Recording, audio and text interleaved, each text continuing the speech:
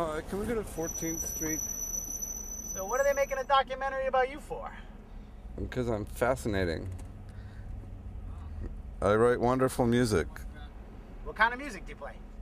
Uh, popular music. What's your last name? Merit. Merritt? Yeah. Never heard of you.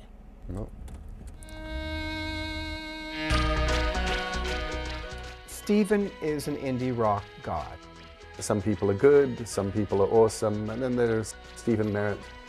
No one else should be trying to write lyrics the way Stephin writes lyrics. I mean, that would be dangerous in the wrong hands. The more time I spent with the music, the more I, I got to think this is really one of America's great songwriters at work. I like your twisted point of view, Mike.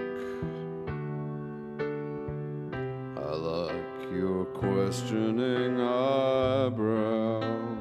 He seems like somebody who's a poet inside and like maybe a mean outer shell to protect it. That's what I would guess. That's what I fantasize. There's been some really defeating moments where like I've sat around with major A&R people who've been like, I don't know what your goal is, but like Stephin Merritt is not gonna be like Britney Spears, so where are you going with it? Like they've been very like kind of negative and very like, you know, I'm like, I just think he could write a hit.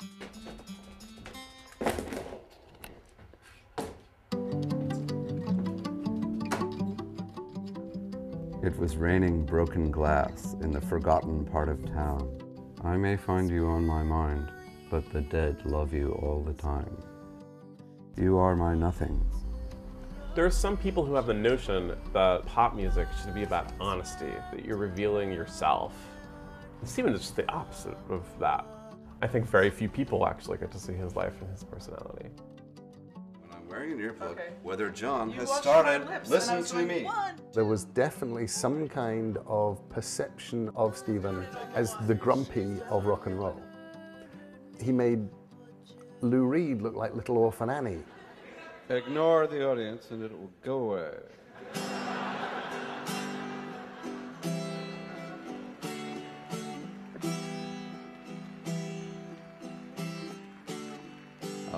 Want to be a playboy's bunny.